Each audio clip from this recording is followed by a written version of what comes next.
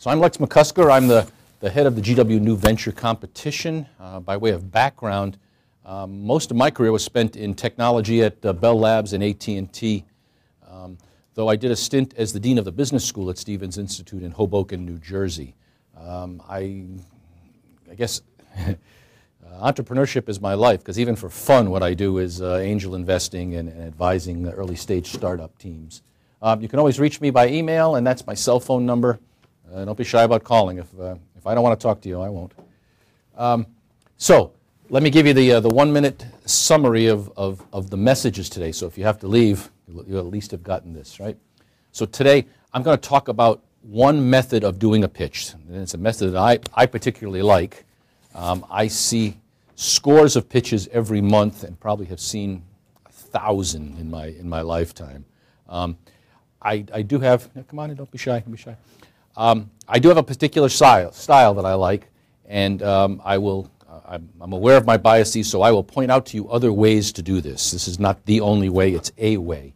It's also tailored to the GW New Venture competition. So my, my, the, pitch, the pitch advice I'm going to give you here is for a very friendly audience of, of folks who are um, looking, looking to fund your activity on behalf of GW. So it's, it's slightly different from what you might find if you were pitching uh, venture capitalists or, or uh, angel investors. So don't be a little bit aware of that. Um, it is definitely uh, suitable for social entrepreneurs as well as, as commercial entrepreneurs.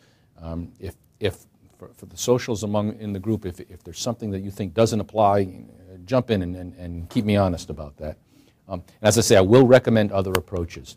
But here's the main message. Anybody can do a great pitch especially on a topic where you are the world's expert, which is the case for your venture, right?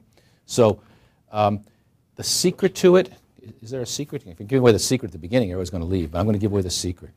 The secret is, is not in your, in your slides or in your uh, financials. It is how you connect with the audience. So I'm going to talk about today is, is, is, is more like drama and, and, and uh, uh, screenwriting, right?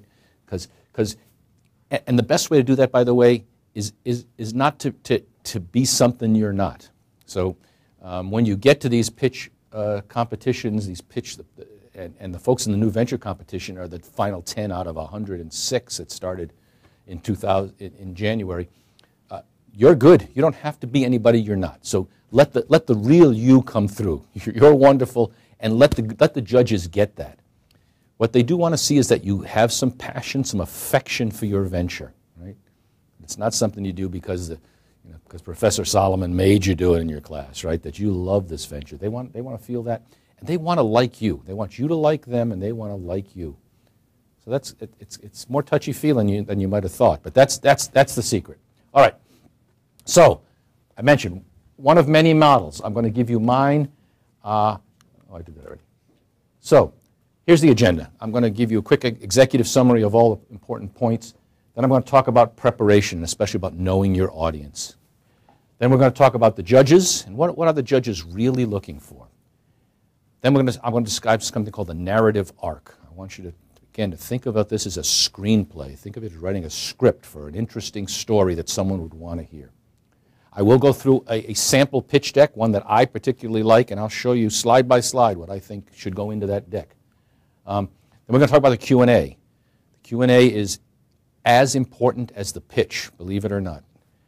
Then I will give you some, uh, some other approaches, uh, talk about the Audience Choice Award. Recall that, that, that in the, the way the, the, the, contest is structured, uh, the teams pitch during the day to the judges, and they come back at night and do a shorter pitch for the Audience Choice Award, and there's some important differences there. And then I'll spend probably the last half hour talking about general things for any kind of a pitch. Any kind, anytime you're talking in front of an audience, there are certain things about um, physical appearance, hand gestures, what the slide should look like that, that we'll, we'll finish up with. Okay? Um, the slides are posted. They're posted on our website. I think I have that somewhere here. Yeah. So everybody know this site? newventure.gwu.edu is, is the website for the New Ventures. Under workshops, presentation, videos, there's a wealth of information there. If you haven't visited that site, uh, go there tonight, go there tomorrow. All the past presentations are there. All these workshops are captured. The slides from tonight are there, so if you, uh, you didn't catch a URL or something, um, you can see really good pitches, right? You can see what the best of the best did last year. In fact, for the last nine years, it's all there, right? This is a wealth of, uh, of, good information for you. Okay, so here's the executive summary. What you're trying to do is get this audience hooked, get them excited about what you're doing.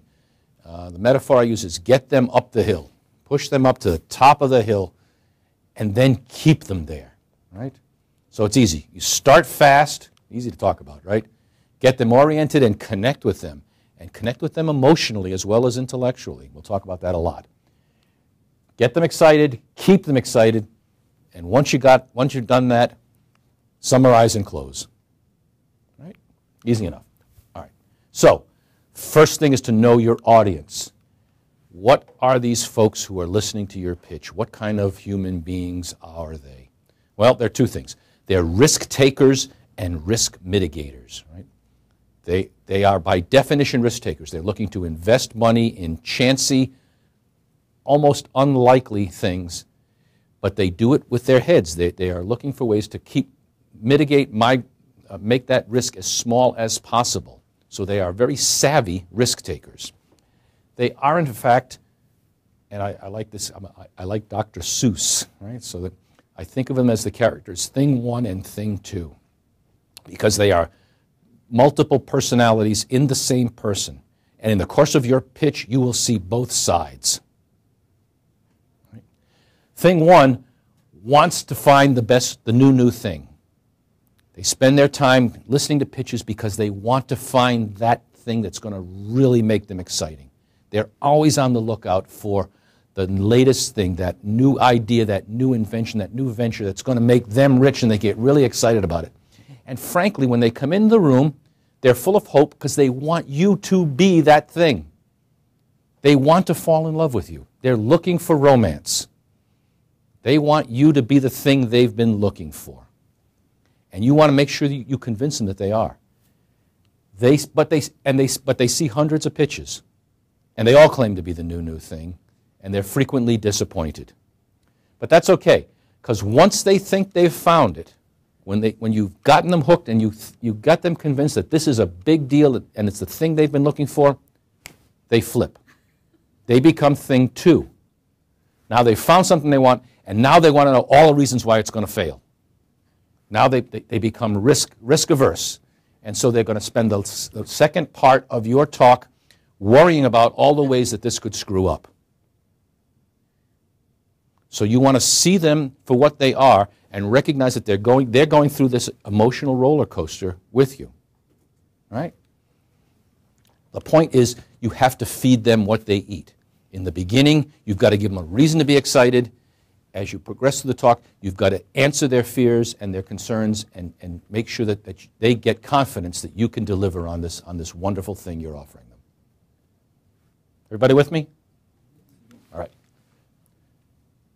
So, preparation. Know your audience. For those of you in the conf- conf- con- competition, have you gone to this website and looked up the, the judges? Okay, that's the next thing you should do tonight. So please, let's pass these out. Jen, make sure that the folks who are in the competition, don't have enough for everybody, but. So on our website, we have profiles of all the judges. Here they are. Here's what they do, the companies they're in. You can Google all these people. It doesn't take a rocket scientist to figure out that they have preferences, they have prejudices, they have things that they particularly like, they have things they're particularly strong at, right?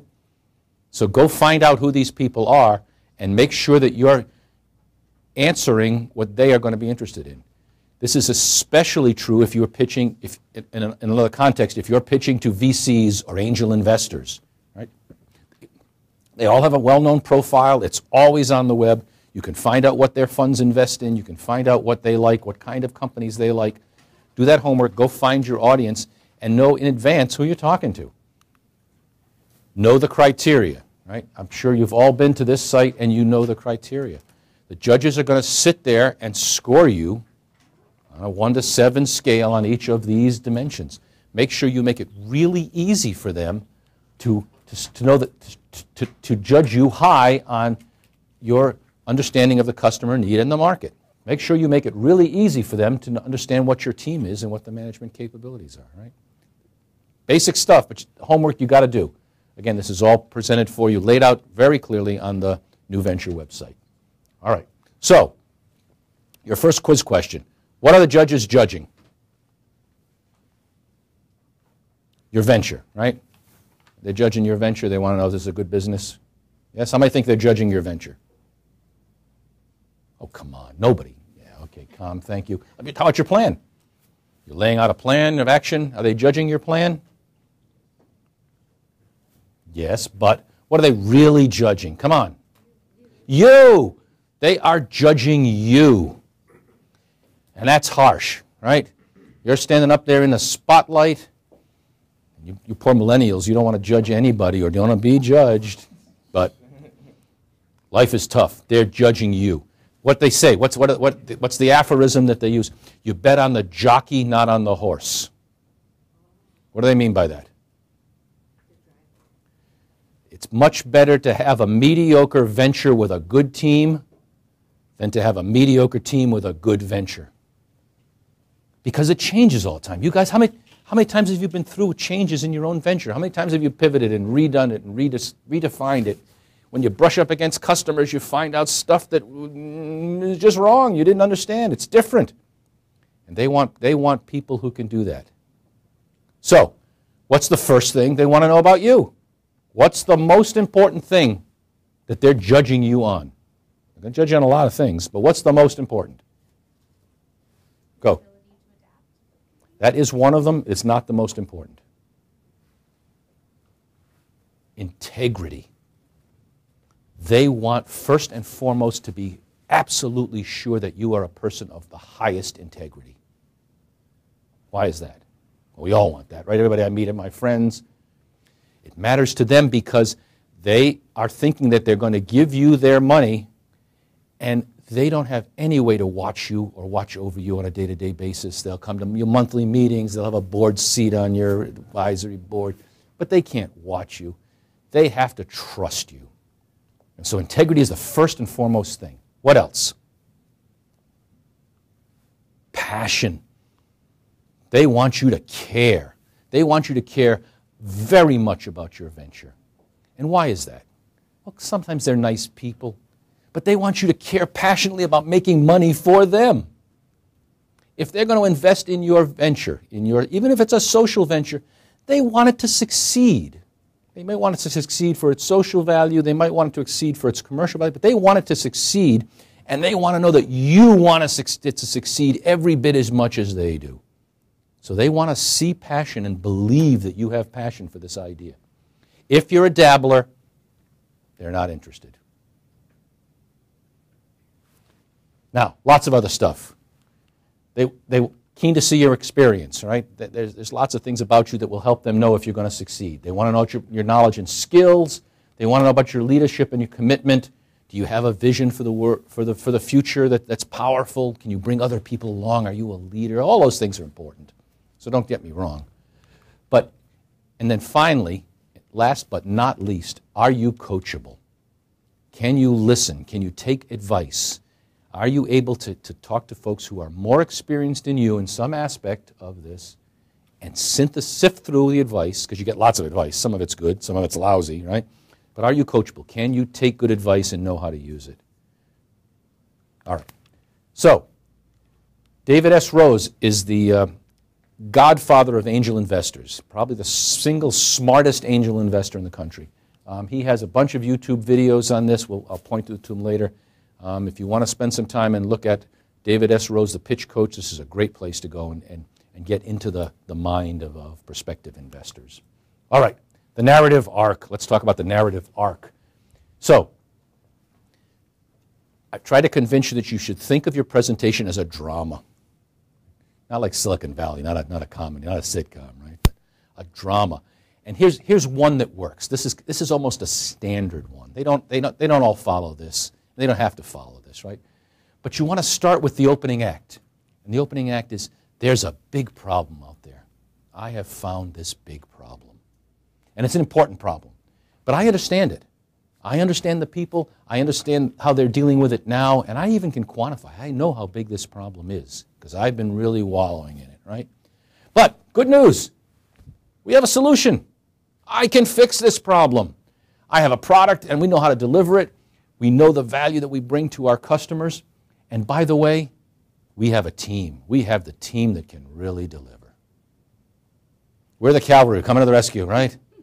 Right? This is an exciting story. Now, we had, oh, by the way, there's some details that I want to tell you about, just to convince you that we know how to do it. That's Act Four. So we know how to, we know how to market, we know how to run our operations, we have a financial statement that, that convinces us and others that we can make money, and in fact, we can really grow. And then finally, you close. Here's what I want from you. Starts off early on, gets very exciting, and gets a little bit tactical, and at the end, when you got them, you close. Right? That's a narrative arc. Think, think, think of a storyline like that that, that that you have that sits up and sings. Leah? Do you want this to be like very obvious specific asks or more general, sort of including in the narrative? Generally, generally, so, so if you're pitching to real investors, if you're going in to pitch an angel investor group, you make a very specific ask and you tell them what you're going to do with the money.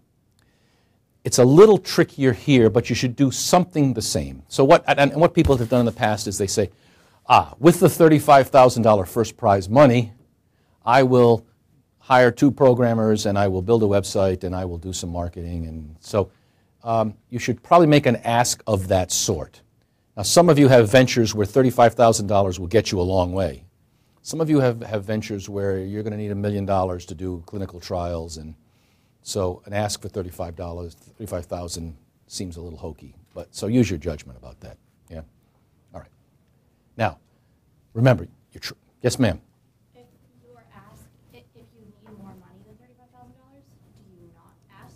Sh- Like, you said it sounds hokey, so what would you do in that? I- think what you want to talk about is is what you would do with financing beyond the competition. Okay. So this is a little bit of inside baseball, but the way the competition is structured, there are cash prizes for first, second, third, and fourth, but then there are special prizes that add on, right? So you could be the first place winner and the most uh, uh, best international, the best high tech. So you could win more than thirty-five thousand dollars. In general, I, would talk about what you would do if you had a thirty-five thousand dollar infusion, and I wouldn't spend a lot of time on it, but you might want to have another slide that says, and if we ha- have a half a million dollars, here's what we will do. You with me? Okay. All right. So there are things that get them up the hill, keep them excited, get them interested, and you want to do as many of these as you can. By and large, you want to have a nice logical progression. So your story should flow in a logical way. It should be easy to follow.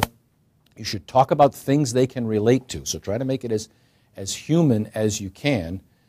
Um, judges are, are, are a special kind of human, right? These are generally successful business people. They're a little bit hard nosed. They can be um, callous, frankly, um, but try to relate to them and things they know. They do like external validation, right? So they don't know you from Adam. They don't know if you're, you are making lots of claims that they can't possibly tr- test, right? So they like external validation. If other people have invested in your company, if there are awards you've won, there, there are contests that you've secured. In fact, winning uh, a prize in the new venture competition will give you a validation that you can take forward to other, to other competitions, right?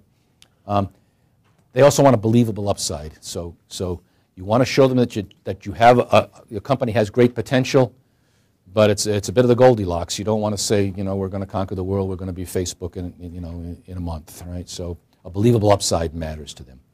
There are also things that you can do that are kind of inadvertently that can really shake their confidence in you and allow them to go back down the hill.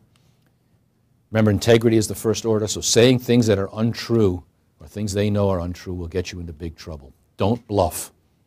If you don't know something, say you don't know. No one's expecting you to know the answer to every question or to know everything. Stay to the facts and don't use mushy language, right? Don't speak imprecisely unless you really have to, unless, unless you're trying to convey imprecision, right? If you've done 100 customer interviews, say I've done 100 customer interviews. In fact, if you've done 103 customer interviews, say I've done 103 customer interviews. I like precision. Right? Don't say, I've done lots of customer interviews. Because they're cynical people and they will assume that you are BSing them, that you're trying to exaggerate and that you've done two or three interviews and, you, and you're calling it lots of interviews. Right? Don't muddle up your tenses. If you have something that is going to happen in the future, use the future tense. If you have something that is real and happening now, use the present tense. Don't mix those up. If your system will be built in three months, don't, don't tell us what the system does. Because it doesn't do nothing, it doesn't exist yet. And it looks like you're being tricky. You're not, you're just being careless, you're being a little sloppy with the language, right? But don't talk about things in the future using the present tense. Everybody understand that? Um, don't talk about things they don't understand, so be careful about acronyms or special words, right, or, or code phrases. Um, colloquial young people language won't go over with them, right? You're not trying to confuse them, right? Um, inconsistencies matter, right? So if you have $10,000 of revenue in the first year, and that's what it says in your income statement, don't say somewhere else that you've got $9,000 in revenue in the first year or $12,000 if, if, if you have $10,000 in, in gross revenue and $9,000 and $9, in net revenue, only use one number. Because it looks like you're either being sloppy, which is bad, or worse, you're being deceptive. Inconsistency is a red flag to them, right?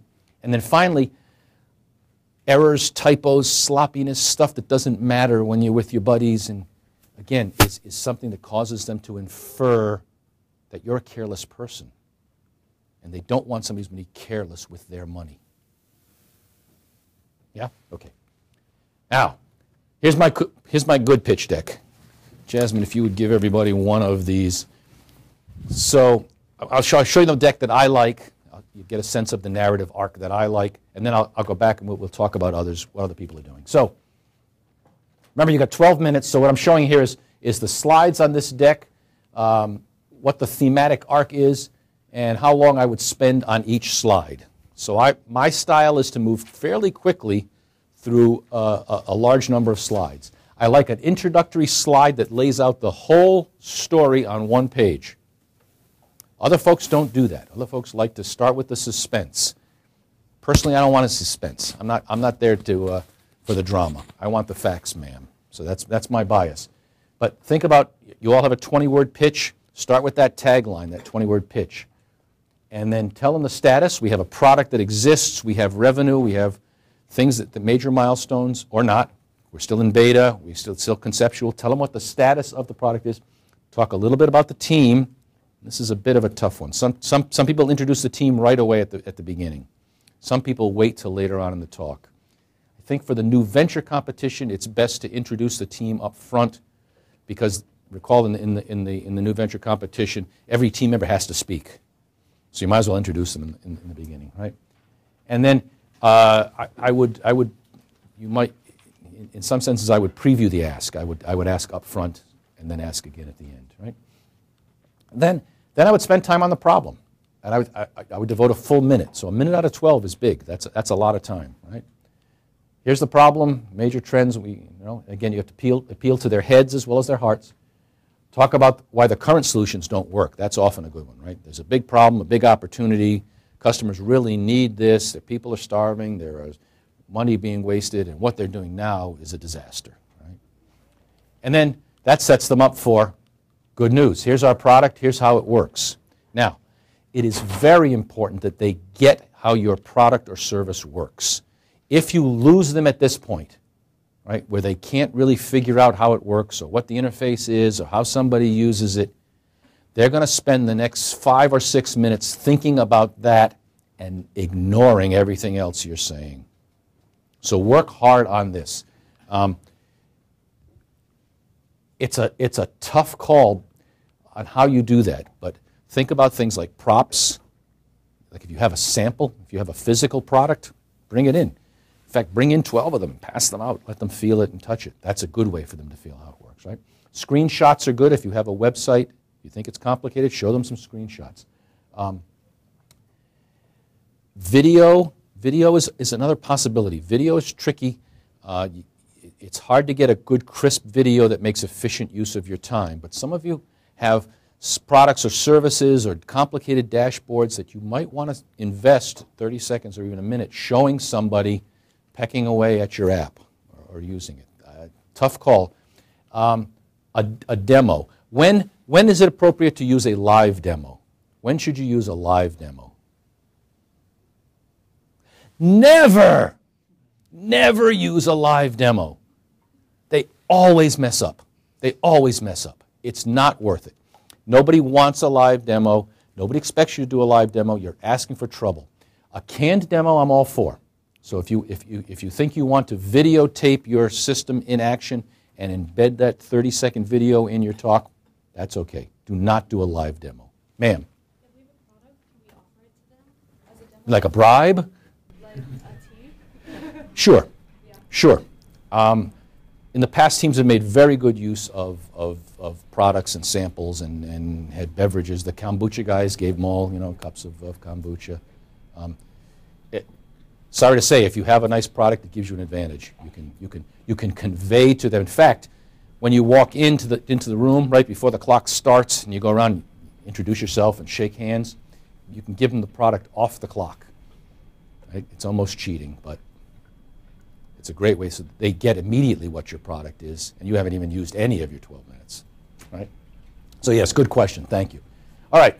Um, at this point, you got to have them hooked. So how far in is that? One, two, three, four, four minutes in. At this point, you got to have them hooked. Now you're going to start talking about all the things that, that, that to speak to their, their fear of risk, right?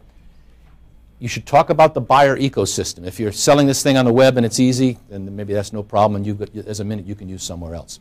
If you're selling a, a, a product into a hospital, for example, selling into a hospital is very difficult, and you want to. You, it's worth a minute to show that you know who would be the buyer, who would be the user, who are the influencers, how that decision is made in a, in a complex ecosystem. So think about how to use that time you clearly want to convey to them that you know the customers and the market and you have a, a compelling value proposition. So th- these folks are all steeped in the lean startup, as, as are you. They will, have, they will expect you to talk lean startup. They will expect you to have, have some kind of traction in the marketplace. So if you're selling product, that's the best kind. If you're not selling product, they will expect you to have talked to lots of customers, funders, as well as beneficiaries, and that you will know what the value is to them. The more of you, that you have, the better. Very important to you, right? All right. And then that there's a large addressable market. So you do, it's, it's a compulsory chart on uh, total addressable market, uh, served available market, and the target market. Never spend more than 30 seconds on that. The only message is it's a very large market. Right? All right. Now, other things they're going to worry about. Do you have barriers to entry? Are there things that, that you're going to do that are going to keep the competitors from swarming in on this market? Do you have pa- patents? Do you have intellectual property, trade secrets, special relationships with vendors that, that maybe could keep people out? You don't have to have that. But you have to be thinking about how you're going to compete. And maybe just getting to market fast, getting to market with a superior product is, uh, is enough, right? But, but speak to it s- specifically and then talk about the competitors. Co- Another compulsory slide is uh, a slide on the competitors. The standard way of doing this is a matrix, right? You put the, the most important elements of the value proposition on one side, right? You make a list of them. Then you put the competitors across the top with yourself, and you put a check mark into uh, next to every, every item that a competitor has. And lo and behold, you have all of them, but the competitors are kind of sparse. They only have some, they don't have all of them, right? But that's a nice way in a, in a single chart to show how you stack up against the competitors. It is a fatal flaw, as in dead, die, stop there and go home, if you say there are no competitors. If you say there are no competitors, the judges immediately know that you are a fool. There's always competitors. What they're doing now is a competitor for you? Somebody who's attacking it from some other way with some other product or some other solution will be solving that problem for them. You want to be really knowledgeable about the competitors, right? Talk about how you're going to go to market. Yes, ma'am. Competitor also might be how they're solving, you're saying the consumer is solving the problem for themselves. It might be something super obvious and lame. Like writing something on a piece of paper instead of your online app. But there's always some competitor. Yes, thank you, Melanie. So, so alternate solutions to the problems are competitors, even if you think they're low tech and hokey, right? All right. You want to show your financial plan. In the slide deck, you want to have a very simple income statement with the cash cash requirement overlay. Remember, remember Steve Rogers uh, talked about this. In the deck, you want to have a, a single, very simple slide. Point out the key things that they are looking for. Remember the key things they are looking for, right? They want to know when you're going to become cash positive. Doesn't have to be the first year, second year, doesn't have to be the third year. But at what point do you start to generate enough cash that you are paying, covering your expenses? That'll matter to them. They'll want to know the, the, the benchmarks, especially gross margin, right? When do you reach a, a gross margin that is competitive with the, with the industry, right? They'll want to see that. Um, uh, how fast do you get to be a big company? They, they're looking for somebody who's going to become a $100 million company. Doesn't have to be a year, could be five years, but they're looking for some significant growth, right? And then, again, benchmarks return on sales, right? Software companies should have big return on, on sales, right? All right. Uh, then the team. Be sure you talk about the team. Talk about the team in terms of the skills that this business needs and how many of them you have. They don't expect you to have all the skills. They do expect you to know what skills you need to be successful and have a plan to get them. Right?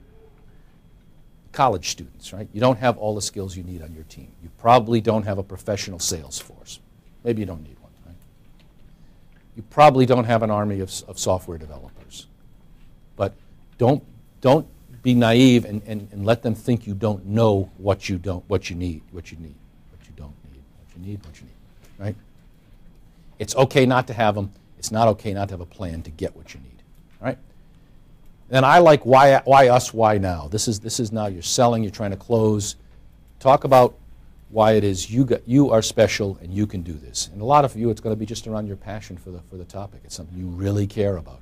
And that's, that's a good thing to have, right?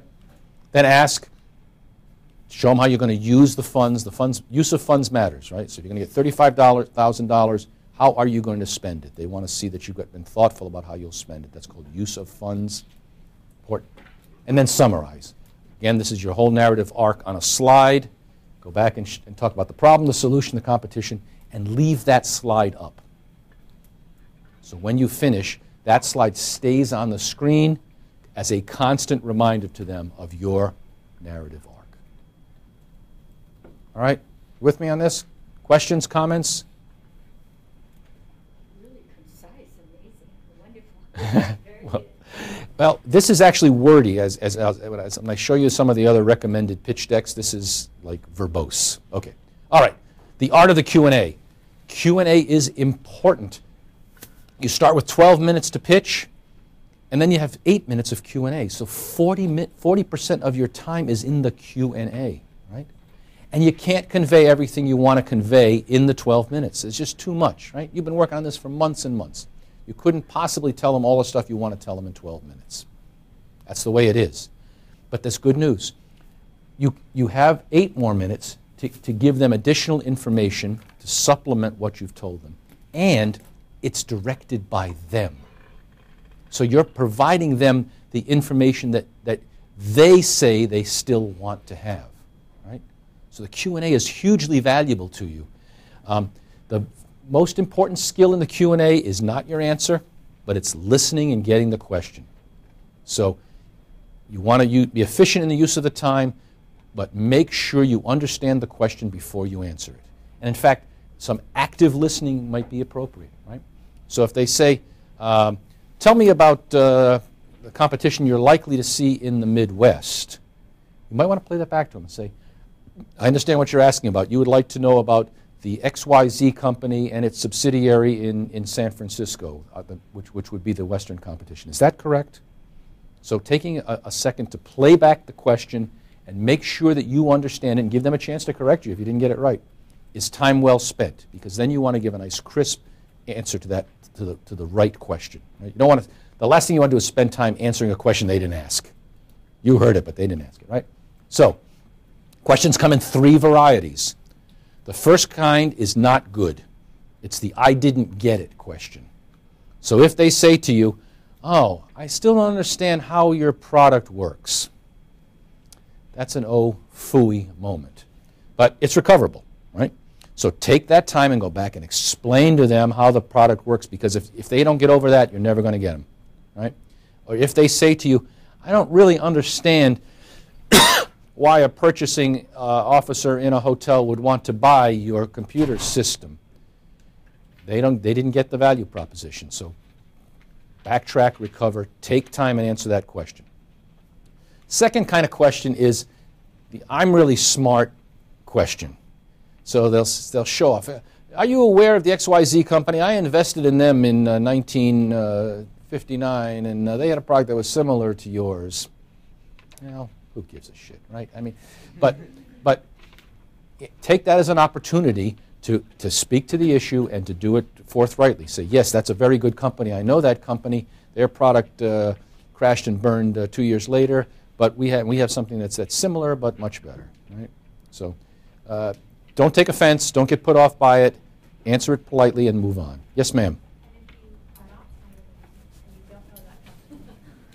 Say, I, I'm not familiar with that company. I'll have to, I'd like to follow up with you afterwards and learn more about it.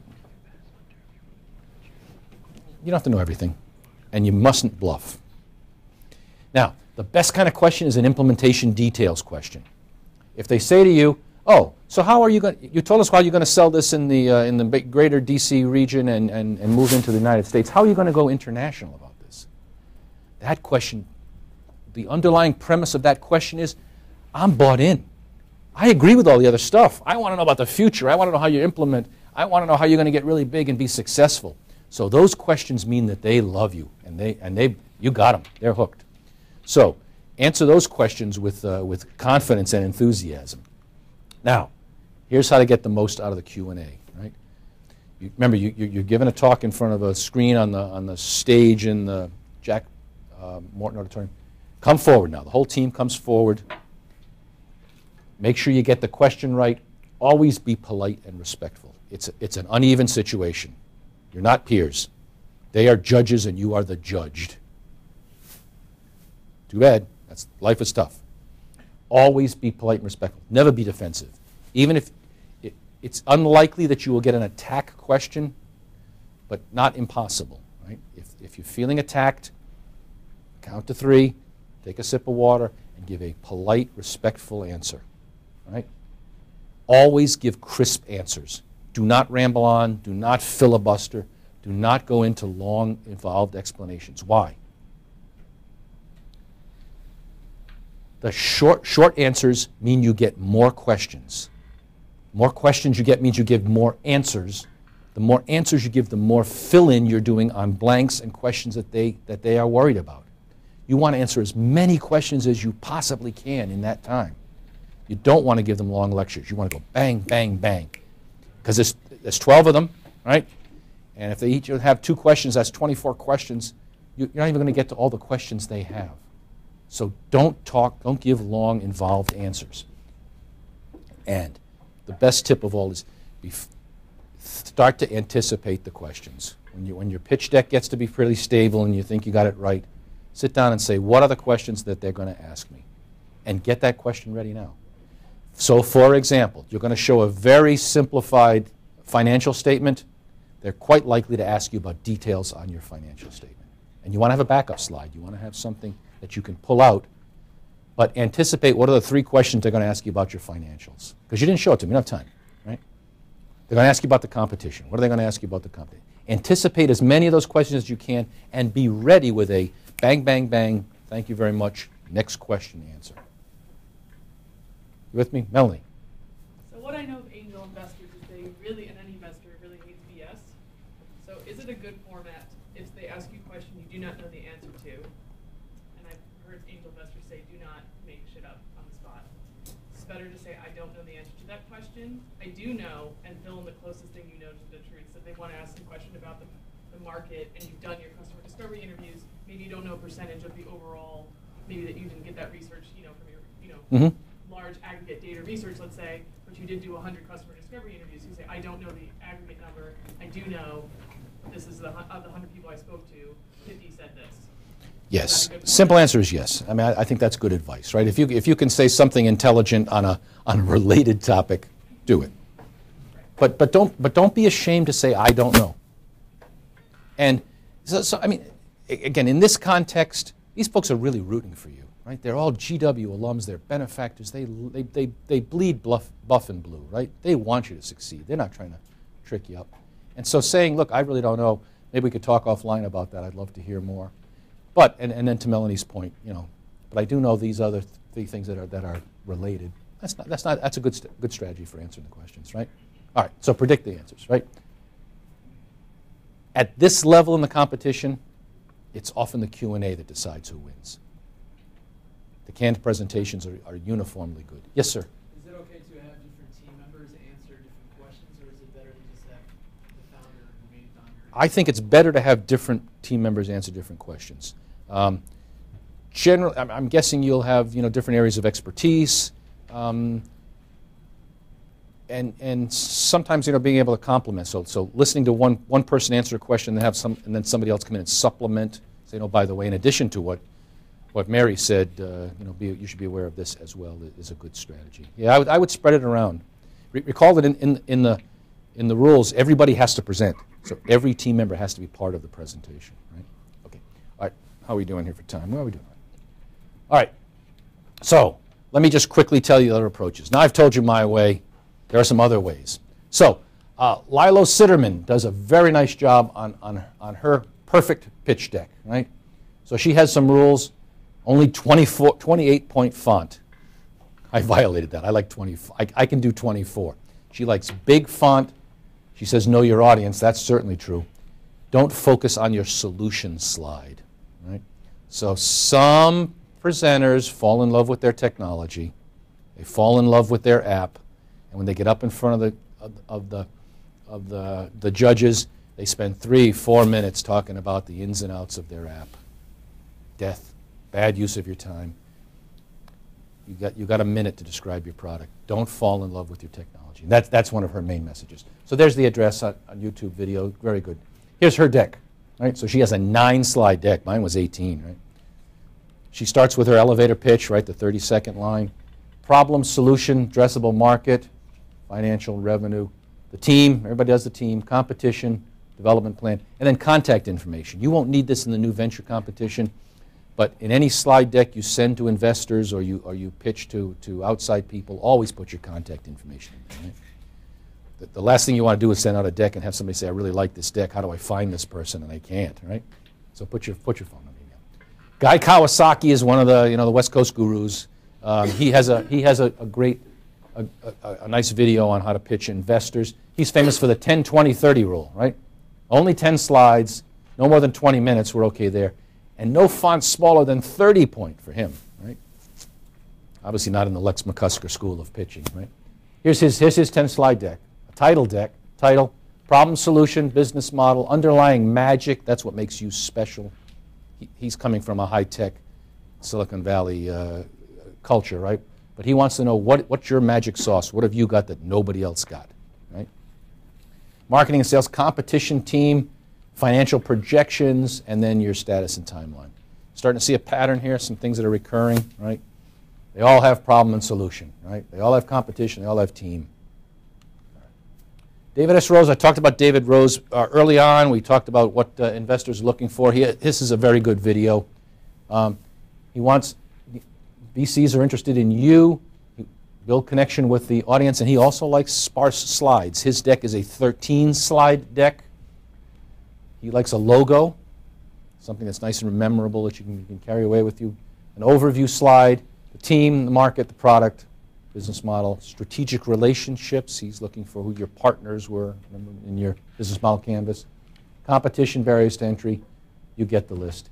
His, his is geared to uh, folks who are asking for lots of money, so he, he has a specific ask. ask yeah. So, a bunch of different ways to do this. Generally more concise than I, than I have advised you. Generally more visuals, less text than I like. Um, try them out. Try them out. Yes, ma'am. Um, when you talk about connecting with your audience, who are these judges, and we're supposed to do some research and get to know who they are, would it be too bold to use that not against them, but like you. So, for example, my product involves mental health, Mhm. and I said to one of them, who's a mother, "What if your child came to you? I know that you're a mother of two. What if your child came to you with this problem? Would you feel this way? Would that be too bold and touchy, or is that what you want us to do and, and connect them to what?" Do you understand? I, I don't know the answer to that. It's, it sounds borderline creepy to me. so I might, but I might use the same tactic slightly differently.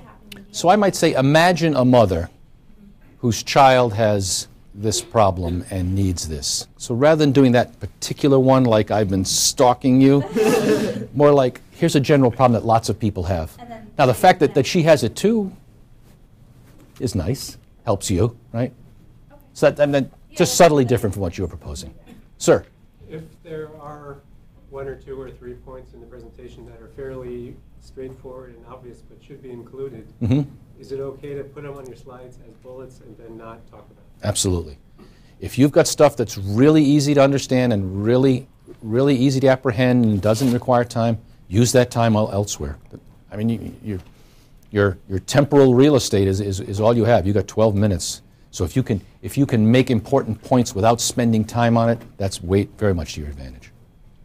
Huh? Other questions? Okay. Um, so, the Audience Choice Award, quickly, the, uh, recall that, that for those of you in the competition, you've got to pitch twice, right? During the day is for the big money with the judges. At night, it's a five-minute pitch, and people will be voting on a, on a mobile phone app for the Audience Choice Award. So it's different. Um, getting them up the hill is much more important, right? Because you don't have very much time. And luckily, you don't have time for them to fall down the hill, right? Um, it's, it's a younger audience, so um, eh, the rules are what they are. If I were a student in this competition, I would fill the room up with all my buddies and give them the URL and say, "Vote for me." Right? So you're going to get you're going to get students. You're going to get, you know, entire fraternities will be there. So it's a young audience. I won't say they're superficial, but they're less skeptical. Right? You want to entertain them. So so make it lively, make it fun. Right? Get them engaged. Um, so here I would use lots of visuals. Right? I wouldn't use. Uh, you know, even 24 point pitch, right? Uh, lots of images. it's not connecting with the, with the 12 or 13 judges, right? It's not that eye contact and personal connection. Now you've got a big audience. You got to, it's 200 people, so you got to kind of play a little bigger on the stage, right? And you want to be memorable. Time is particularly short, so I advise, and, and we'll, we'll, we'll hit this point in a few minutes. Rehearse, rehearse, rehearse, rehearse with a stopwatch. At, at, at some point, kind of in the middle of April, this thing should be really coming together for you because you want to spend time working, um, working a lot on the presentation, on just the, just the theatrics. Right? You got to get the, the thinking is, is kind of over at some point, and you've got to start working on. And timing matters, right? Because you're going to get, you're going to get, there's a hook, right? It's like vaudeville. When the five minutes is up, you're coming off. Yep. Okay. So, these are the kind of slides, these sparse slides, right? So, this is this is Jobs talking about the iPhone, right? This is the only Jobs talk for 12 minutes here about iPhone sales, right? Different countries, different geographies, which models they sold. That's the only slide he used. And what's the meta message, right? What does he want you to come away with? We sold a boatload of these phones, right? And he wants you watching him while he's pre- presenting, right? He doesn't want you reading the slides. It's, it's a different approach. It's frankly, it's, it's the approach that's favored most nowadays. All right. Let's use the last, the remaining time we have to talk about a bunch of general purpose things, things that, that are true for any kind of presentation. If you're doing a sales presentation, you're um, uh, you know, presenting to folks at a, at a, at a fraternity meeting or something. It's, this is, this is not, not what, what remains now is not specific to pitching to investors, right? So, here's the topics I want to talk about. Uh, first, I want to talk about the, the dreaded fear of presenting. I'll tell you why. Um, it's easy to say, but there's no reason to be afraid of this. Right? Then I'm talking about thinking about the purpose of your presentation. What is it you're really trying to accomplish here? Right? And this, talk about a bunch of meta issues, and then specific elements of your presentation. We'll talk about the content, your voice, visuals, actions, time management, and then dealing with stress and anxiety. My reference for this is a talk by Lynda Maddox from the business school. This is also on, the, on our website uh, and, and, and on her own YouTube channel. Linda does a beautiful job on this. Goes out, it's about an hour and a half. It's much better than I do, and I won't completely do it justice. But if you want to know general principles and great advice for how to do all sorts of pitches, I recommend Lynda's, Lynda's video. So, fear of presenting. It's easy to get nervous and to be fearful in front of an audience like this. These are very experienced, smart people. The good news is you are the smartest person in the room when you're giving this talk on this topic. You know more about this than any of these folks. Um, the, and the good news is in this particular contest, this is not Shark Tank. These are people who really love you. They come in wanting you to be successful. Um, so I, I, don't have any like good advice for you. Um, drink heavily. No, don't drink heavily. But it, it, it's easy to say, but this is not a context where you need to be, need to be worried or feel, feel self-conscious. In fact, you will be most successful if you, and I've said this before, if you let the real you come through. By just letting them see you in your innate wonderfulness, you'll do fine. I mean, you all, I, I, I know most of you, and um, they just want to know you and, and get to and see see who you really are. So try try to try not to, to, to let the let the fear get the better of you. Now, why are you presenting? Let's take a minute. So imagine you're in you're in the new venture competition, right? It's April 19th. Just I mean take a step back. What are you trying to accomplish? What is the purpose of your presentation? Is it to inform and educate? some extent it is, right? There's lots of facts you want to convey. So, so you, better, you better be able to inform and educate them on your venture and why it's a good idea and what you've learned about the market. So this is certainly part of it, right? It's not all of it, though. What else? Do you want to persuade them? Sure you do. You want to persuade them to score you all those sevens on the right side of the, right? You want to persuade them that you know what you're talking about, that your story, your narrative arc about how this big problem out there is addressable by your solution. You want to persuade them of that, right? So those are important things to do, and you can you could construct your talk to do these two things and be very successful. I will argue it's not enough. You also want to entertain and even inspire them. Right? And ultimately, you want to cause them to take action. So think big about this. Right? Think about making sure that it's fun and lively and they have a good time. Don't be afraid to tug on their heartstrings. Don't be afraid to make them want to support you because they think it is the best thing they can do on this earth with their money. Because they like your cause, because they like your product, or because they like you and they want you to succeed. Think about how to inspire them. And of course, the best outcome would be if they pull you aside and say, I'd like to invest in your company right now. I'd like to invest my own money in your company. Right? That would be a nice outcome. It's not beyond the realm of possibility. Think big. Shoot for the stars. You are great. If you have gotten this far, you are worthy of, of inspiring these people. Okay. Now, here's some nuts and bolts stuff. Remember, we talked about connecting with them. There's only 12 of them, only 12 that matter in this particular case. Make eye contact. And make eye contact for one, two, three seconds because you are important to me. It seems hokey, but you want to make eye contact. Understand? I'll tell you a quick story. Um, I had a chance to meet Bill Clinton many, many years ago, invited to the White House. I'm going to tell you why. Not a big fan of Bill Clinton. It's in, incidental to the. When Clinton leaves after giving his talk, he, he goes through the crowd. He doesn't just walk out. He comes down and, and he goes up, down every aisle and meets people. And he stops at my aisle. And he comes up to me and he goes, May I? Thank you. Thank you for coming. The wrist grab, the shoulder grab. He looks me in the eye and, and there was a moment there when I thought that Bill and I were just the BFFs. he liked me more than anybody in the world, and I liked him too.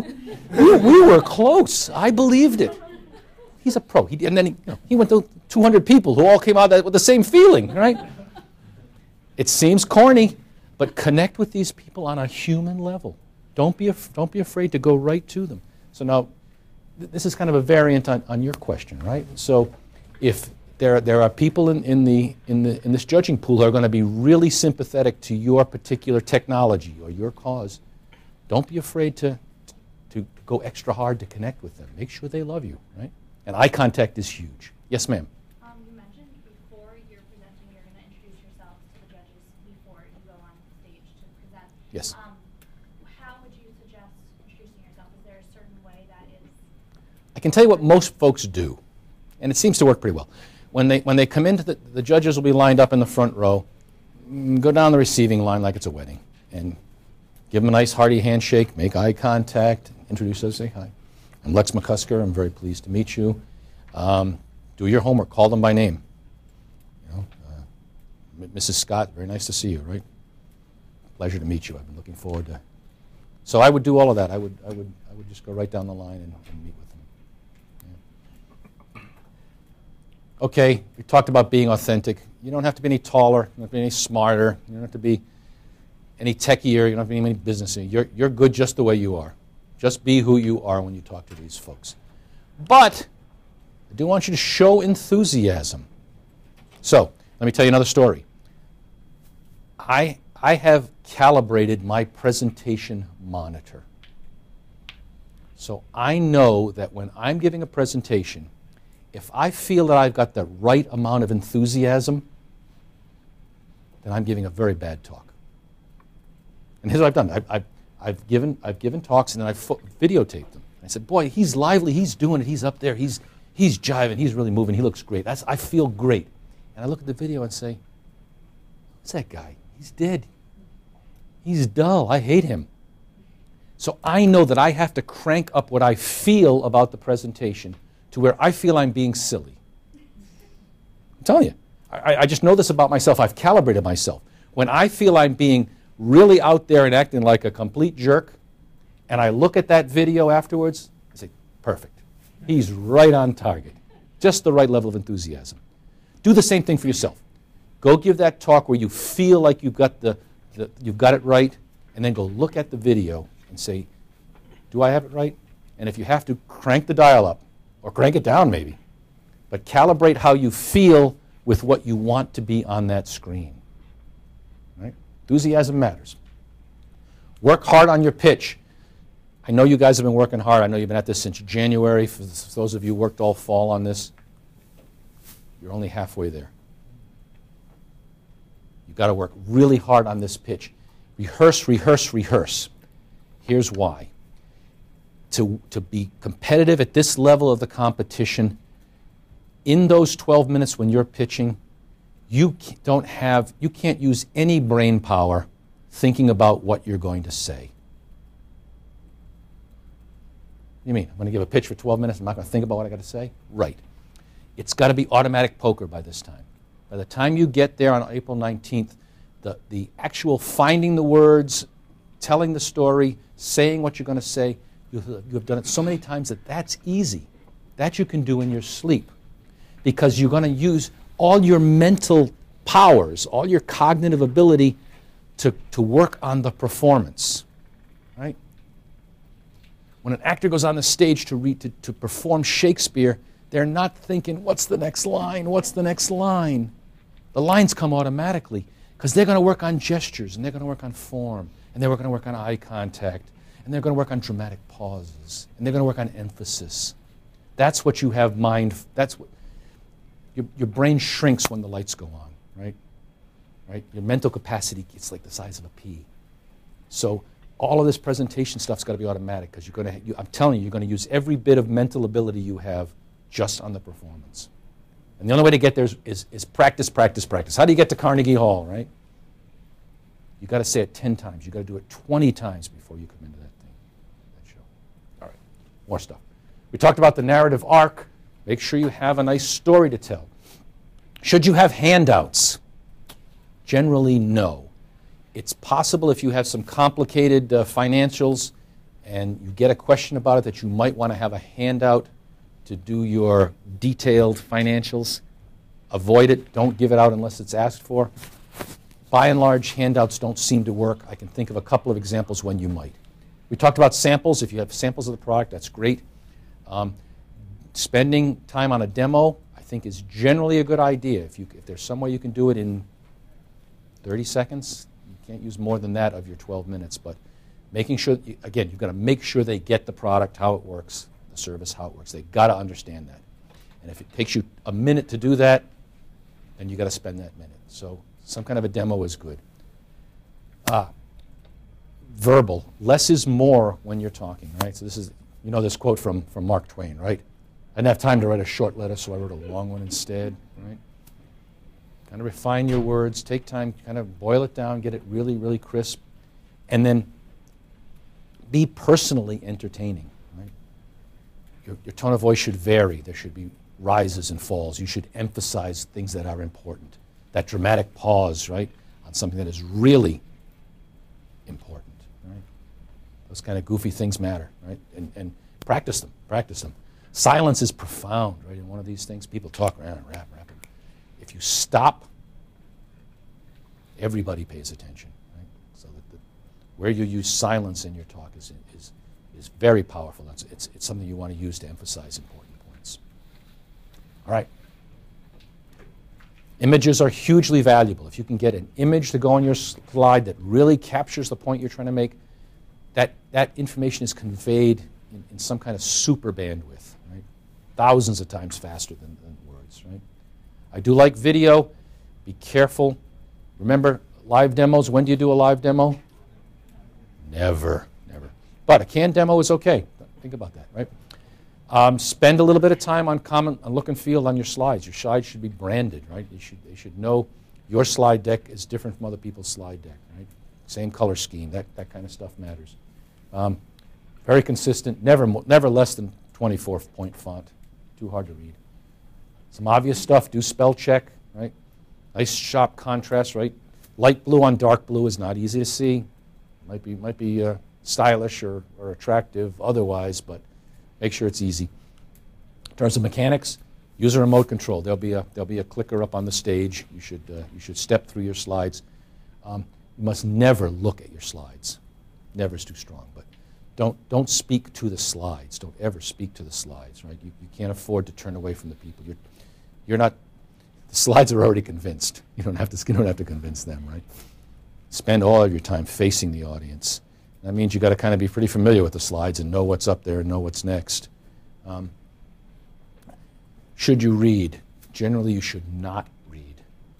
Now, having said that, I, have been with several folks, especially students, absolutely cannot stand up and pitch without holding in their hand a deck of cards that has all the, all what they're going to say on it.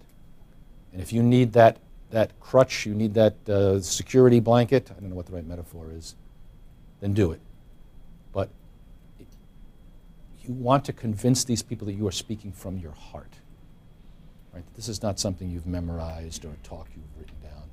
This is you bearing your soul to them. And the way they do that, by the way, is, is to write it down and memorize it and, and practice so many times that it looks automatic. But it, it's, it's, almost, it's almost like a, uh, you know, a, uh, an agreement that, that, that you've both made, where you pretend to be spontaneous and natural and they pretend to believe it. All right. Dress the part. When you come in, you should, you should be, you should show them who you want them to see. So who do you want to be on that day? Do you want to be Face or Murdock or uh, Hannibal or, or BA? You guys, you guys don't even know who the A team is, do you? Oh, jeez, I forgot. I forgot. Something from, from another generation, right? These are characters in a, uh, in a TV show. But you can tell, right? BA stands for bad attitude, right? I mean, he's, he's a tough guy, right? And Face is the smooth guy, right? He's gonna, and Murdock was the technician, right? He can't see them. So, who's this guy? Who does he want you to see? Too cool for school, right? He, he wouldn't wear a necktie if his life depended on it, right? Silicon Valley entrepreneur. That's who he wants you to see. How about these guys? Four MBAs, right? They want you to see MBA. They got matching vests, right? We are so we are so buttoned down. That's what they want you to see. How about these guys? This guy is a uh, med school professor, but he's dressed in, he's dressed in business business attire, right? He wants you to see that he's a business guy. This guy comes in a, in a smock and he's got a, a stethoscope around his around his neck, right? Right? He's the techie. He's the he's the medical school guy. So think about what you wear. By and large, professional business attire is the default. So if you, don't be afraid to be a little imaginative about, about, what you wear, right? In terms of presenting, practice, practice your presentations as a team, right? The, handover, the, the, the handovers matter, and you don't need to introduce each other, right? You just want to go from one to the other. Right? Everybody's got to speak. Every team member has to speak. Uh, don't say, now, now, John, take it over. Don't waste that time. Just, just go smooth, one from right into the other. we got to finish up here. All right. Um, be sure you introduce the team members. Um, I think you do that at the beginning. Um, if not, when you put up the team slide, you should introduce it. But make sure that everybody knows everybody on the team. Um, when you're not presenting, right? If there's four of you standing up there, and John on the end is presenting, everybody else has to act like they're really interested in what John is saying. Don't wander off. You know, don't look at your watch or think about what you're going to say. You want to. You're part of the show. All four people are part of the show all the time.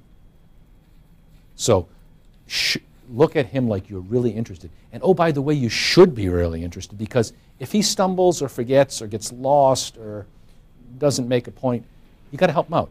So it's, it's perfectly okay for somebody else on the team to step in and say, oh, and, and you know, and John, one other point that, that, that we want to make clear is that our gross margins do get to be 60% in the, in the fourth year, because John forgot to say that. So be engaged all the time, even when you're not speaking, and you want to avoid the general uh, nervous movements and pointing and gestures. I, I do that all the time. In some cultures, pointing is a bad thing, so be careful about pointing. Um, and then, as to answer the question I've answered three times already, I think when you come in, you shake hands with all of the uh, all of the judges. Don't have to. I mean, if you don't, if you don't want to do that, that's fine with me. But uh, a couple of other things. Figure out your lap times. So you should sort of know at what point in the 12 minutes every every piece should be, right? So if, if the sixth slide should come up at minute four, and you're not there, you want to be able to in real time make adjustments. So you should sort of know what you're going to skip over if you if you get get behind. Um, think about how you would how you would make up time if you uh, if you get lost. The first 12 minutes are uninterrupted, so you won't get any questions. Now, stress and anxiety. The last thing we talked about fear. It's okay to be a little nervous. In fact, it's desirable to be a little nervous. Right? You know about the Yerkes Dodson curve? Oh, come on. Tell me you don't know what that is. This is the, this is the, the, the graph that uh, relates performance to your anxiety or arousal level, right? And it's this inverted U-shaped curve, right? So if you're too relaxed, your performance is not very high, right? So resting heartbeat is what, 100, 120 beats a minute, right? You're sitting there watching TV, not at your best performance-wise. As your heartbeat gets up to 100, 145 beats a minute, now you start to get to peak performance. You want to be a little bit on edge when you get in there, a little bit nervous, you know. Stay frosty. Now, when you get up high and start to get to 180, 200 beats per minute, you become a basket case and your performance de degrades again, right? So let's not go too far. But it's okay being a little nervous.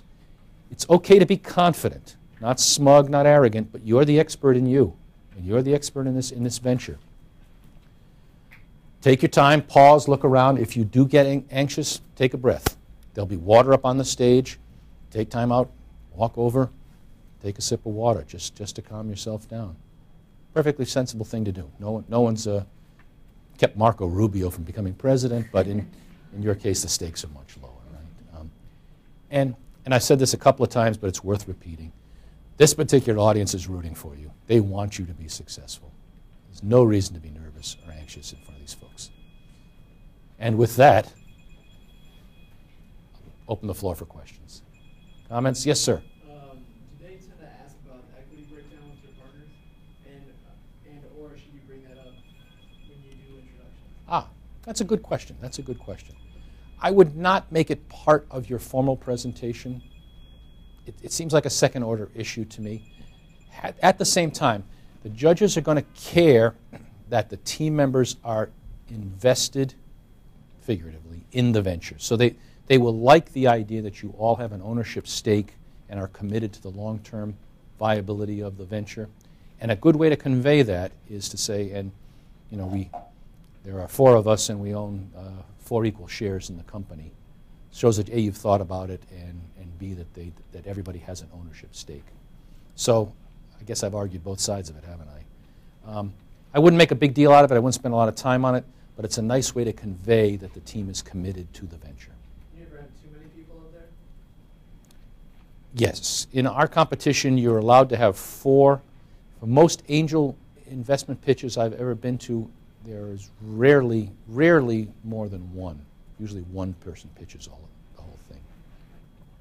Yeah. Sir.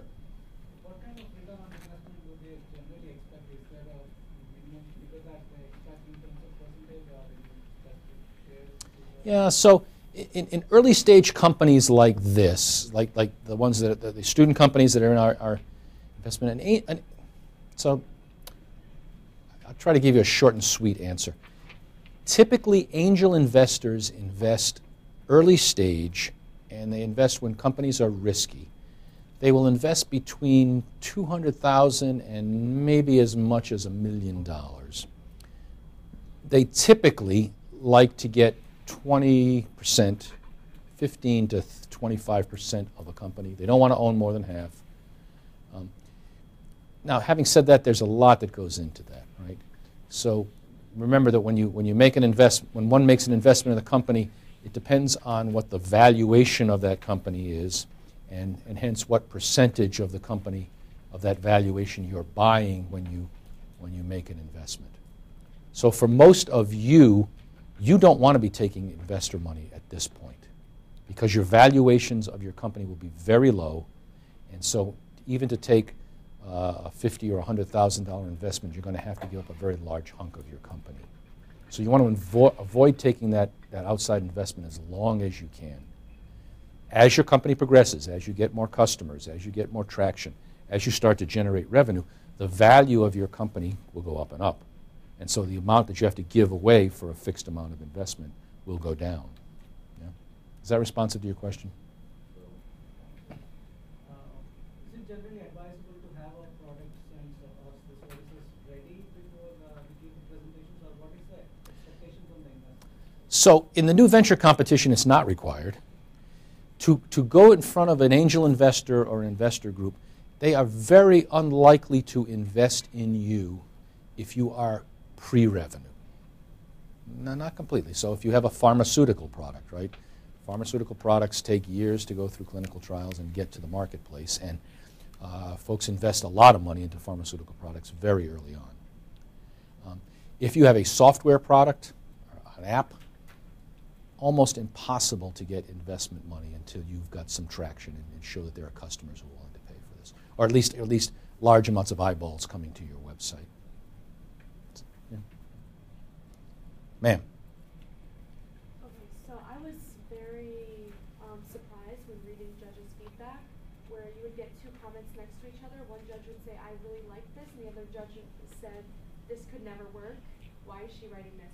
Um, so I'm wondering, carrying this over to the to the panel phase, um, to the presentation phase, um, when you have people in the audience who you can tell um, are really going along with your presentation and are excited, and then you look over and you have other people who you can tell are kind of struggling to get there. Mhm. Who do you appeal to, and what kind of mindset do you focus on? Bringing everyone along to a point, or getting the excited people more excited and ready to invest in you? So, you ask a great question. So, one of our dirty little secrets is that it's a very imperfect process. In fact, we've done some work where we've gone back over the years and looked through which teams did well in the competition and where they are now. Um, it's often the case that teams that, that, that did just okay in the competition were the most successful companies. So the judges are, are not infallible. And in fact, uh, in the, the example that you cite is not so extreme. They often contradict each other. They like what they don't like. Now, to answer your question directly, I, I would, if I were you, to the extent you can, I'm not sure how, how much latitude you have, but well, you can call on questioners. I would go after the ones who are skeptical and are not with you. In general, the high scores bump up against the, the limit. So if they really like you, they're going to give you sevens, and you're not going to make them go to eight. But if you've got somebody who's a two and you could bring them to a five, that will help you the most. Ma'am. Can I circle back to the the question you just answered, Sure. actually? Um, You were talking about, um, you gave two examples of companies, pharmaceuticals and software. But Mhm. what about actual product? So something that you would bring through internet sales Mhm. or retail. Um, When you're speaking to investors, how many customers do they like to see that you've had? And how long do they like to see that you've been in business, even if revenue is low? You're, you're asking how high is the sky and how deep is the ocean, right? So it's, it's, it's, I mean, it's you have like a average or an idea? Yeah, so, so I'll ask my favorite quiz question. Why, why do startups fail? What's the number one reason why startups fail? There's lots of reasons. What's the number one reason? Mitchell? There's no market for it. Yeah, there's no market for it. There's no market. They build, they build a product that nobody wants. It's, it's a remarkable phenomenon, right? It's, it's, the, it's the field of dreams. Oh, I got this wonderful app, and all I got to do is put it out there, and people will buy it. So, to answer your question, you want to have enough sales to convince them that there really is a market for this. So you want to show them that, that people are lapping, up, lapping this thing up. They really like it. And that's the best thing you can do. You can do interviews, you can go talk to customers and say, uh, you know, get endorsements and testimonials, but you want to see sales and you want to see enough. Tra- trajectory matters. so you want to show that it's increasing over time, right? So you can make some sort of claim that this is going to go on forever, you know, and it's it's only you know thousand dollars this week, but it doubled. You know, next month it's two thousand. You know, thirty days from now it's going to be a hundred million, right? So, so looking for trends. So, all right, yes, sir. You get, you get a timer for I think three, two, and one. Um, that's provided by the judges or like someone on staff. Uh, what we will do this year is we will put an iPad in front of you, a monitor on the stage, and it counts down from 12 minutes to zero. So you'll know exactly how much time you have left. Yes. The first, the round in front of the judges, is that going to be on stage or is that going to be in Duques like normal? No, it's all. Everything is in um, is Oh. in Jack Morton Auditorium. I was the timer last year and I was like the friendly face, like nodding. So I'll be there like smiling and nodding like an idiot for all the teams. so if you want to look at somebody. Friendly face matters. Having a friendly face in the audience is it's very reassuring. won't talk to you though, but I will smile. I want to distract you. Yes, sir. Uh, Do you have any suggestions on how to deal with the integrity of the angel investors? Because uh, like, I I had an unfortunate Mm. event where my product was not totally ready, but uh, when I brought it with the idea and the demonstration of live demo Mm. to the investor, uh, the investors actually started looking for alternatives, and uh, I I was not informed about it. Wow. It was like a, a bad situation. Do you have any suggestions on how to avoid such kind of? So um, nothing nothing surefire. I mean, obviously Google. I mean, make sure, find them on LinkedIn, find them on Google, see what, what's written about them. There are some sites like Gust that, uh, that, that do profiles of investors as well as companies. Sometimes you can find information there. I'm afraid that the, the, the single best answer is going to be word of mouth. You're going to just as investors like warm introductions, right? They don't generally don't respond to cold calls. But if somebody says, uh, "No, I know this this guy. He's, uh, he's he's got an interesting investment. You should talk to him," um, I would stay away from investors without uh, without unless you can get a reference from them for the reasons that you cite. Right? But that's an unfortunate story. Yes. Um, yes. Simple answer is yes. You can. You, there, there are lots of good ones just on the on the internet that you can use. Many, most investors won't sign a non-disclosure agreement because uh, they're afraid that you're going to disclose to them something that they've heard a million times before, and all of a sudden they're now bound by your non-disclosure agreement, even though it's it's an idea that, that they have heard before. And now they're in, up, up the creek, right? So Um, you know, there and there are also there you know there are lots of angel groups that are well respected, right? So there's Dingman Angels in, in, in College Park. There's the Keiretsu Forum, uh, the DC Archangels are, are gr- groups of kind of respectable people who meet as, as angels. Um, if, let me know if you want to get in front of an angel group. Uh, follow up with me, and I can I can help you with that. All right, team. Last call. Everybody's okay? Feeling armed and dangerous? All right. Well, thanks very much for coming. Good to see you all.